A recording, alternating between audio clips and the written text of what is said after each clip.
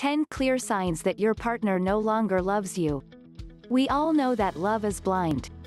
Sometimes, it is hard to pay attention to little details that show that our partner doesn't love us.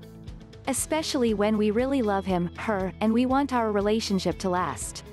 But, you must be aware and pay attention to the little details that your partner does or doesn't do, so you can get the real picture of your relationship and whether it will, or it won't work out between you two. Below are 10 clear signs that your partner no longer loves you. 1. He does not listen to you and is always thinking about something else. 2. He is not interested in you and your life. He has no common topics to discuss with you. 3. Your partner tries to blame you in every situation and in every problem you has. 4. You do not feel his support. He always finds excuses for why he cannot support you.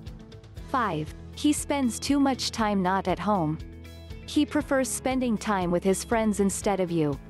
6. He does not explain the reasons for his behavior. Even, if you ask him to. 7. He hurts you all the time. He is cheating, lying and is not sincere with you. 8. He makes plans for the future and you are not part of them.